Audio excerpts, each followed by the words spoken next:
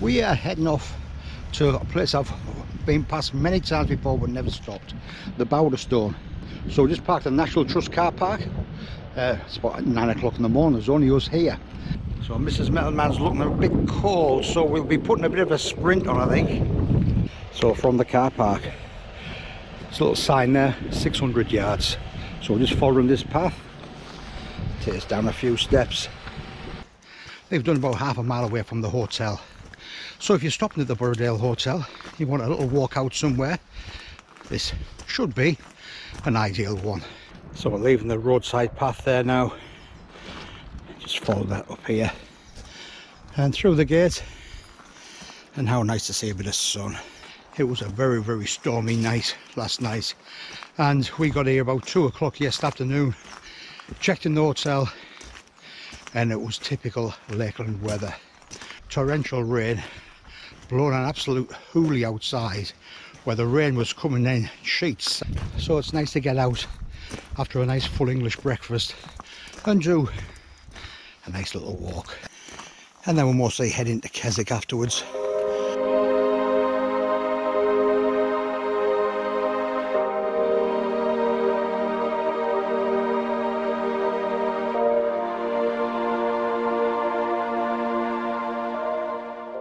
Shall I come up? You want, yeah? Oh no, I'm not. I'm not coming up. Non-slip steps all the way to the top. Oh, that sun's coming out there now. But like I say, up here, the rock is obviously very smooth, quite slippy. So on a wet day, if you have got kids,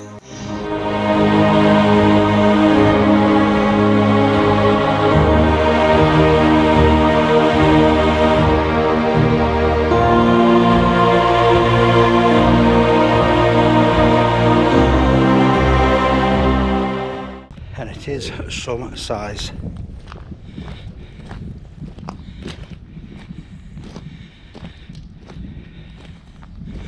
So 30 feet tall, 1200 tons in weight.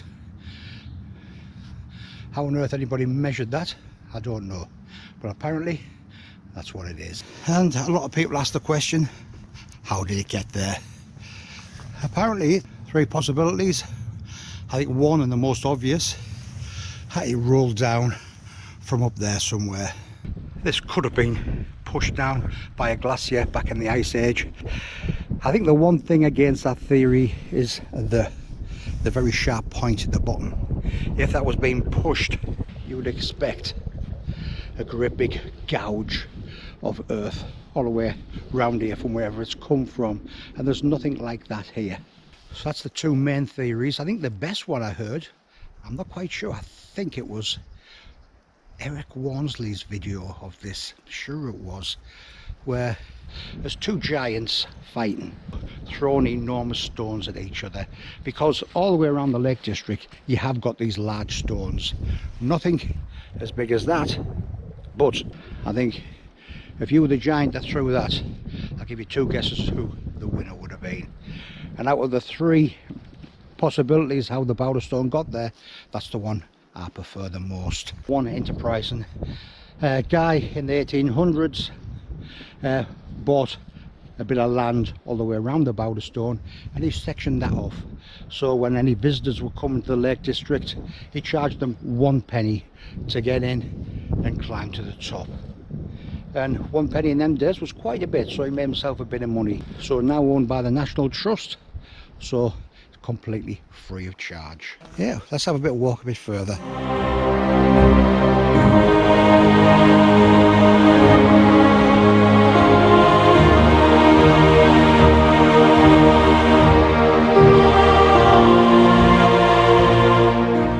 So I don't know how long this has gone this has been here.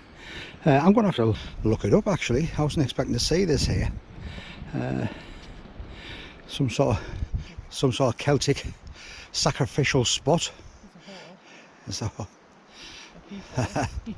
I'm gonna have to sacrifice Mrs. Metalman on the so from here the path just continue on down there So we just moved down about two miles down to the little village of Rosthwaite.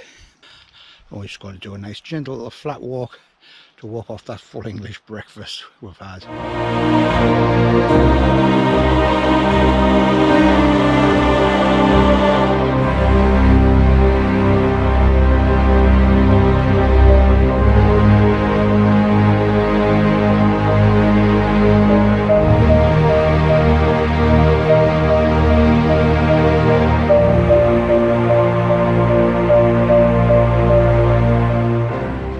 So a really nice flat walk Mrs. Metalman's enjoying. And for the more adventurous I'm sure it's we went up that way and around in the summer where I did uh, Castle Crag where I did a friends.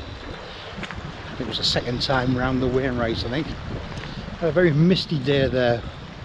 No mist today not forecast to rain. Haven't said that in the Lake District. That means absolutely nothing or slate mines. And you can see the work that's been done over the years in there. Very wet very damp. Very cold. Still fascinating sight to see.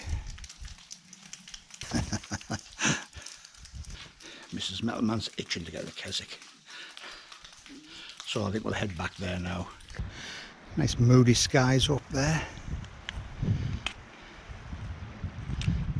Absolutely gorgeous. The scenery as well as Mrs. Metalman. So if you have watched the video all the way through, thank you very much. Very much appreciated. If you enjoyed it, click on the like button. And why not consider subscribing? See you it won't be too long before I'm back out again. Cheers.